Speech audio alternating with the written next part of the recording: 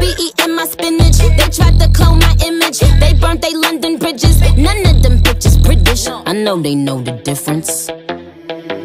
And I just fell in love with a gangster. So I hold him down like an anchor. He said if I keep it a hundred, that he keep me safe like a banker.